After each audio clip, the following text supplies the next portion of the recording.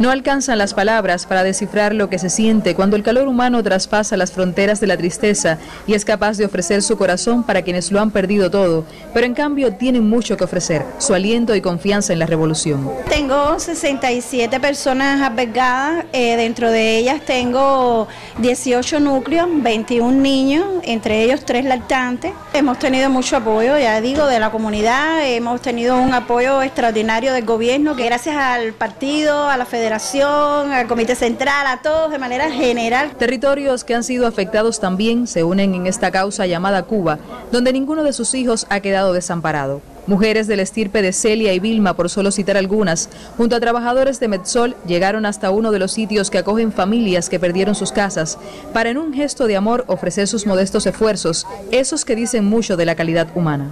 Todo el pueblo de La Habana, de Cuba, eh, ha insistido en la recogida de donaciones. Vamos a entregarle eh, objetos de canastilla a esa persona, a esa madre que fue afectada. Esta experiencia es única y reconfortante también.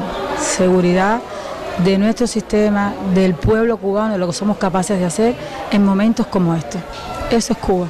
Nosotros somos trabajadores de la empresa Laboratorios Mexol y somos más de 2.000 trabajadores que hemos organizado todo este grupo de donaciones. Hemos también con nuestros esfuerzos aglutinado aseo personal y bueno, sumado a todos los esfuerzos que se están haciendo de toda la capital y de otras provincias también por hacer llegar cosas a las personas que han sido afectadas por el paso del tornado. Fuimos hasta el gobierno municipal de Guanabacoa, ahí nos atendió la vicepresidenta, eh, de forma muy amable. Ante la pérdida de recursos materiales, la unidad ha sido el pilar esencial que ha caracterizado a todo el pueblo para compartir lo que se tiene desde cada rincón del país y llevar así luz, amor y esperanza. Humanismo, solidaridad y sensibilidad han sido palabras que han distinguido a todo el pueblo por estos días ante el proceso recuperativo. Un pueblo para con sus semejantes, porque estos son Cuba, tus verdaderos hijos. Odalis Pérez para el Sistema Informativo de la Televisión Cubana.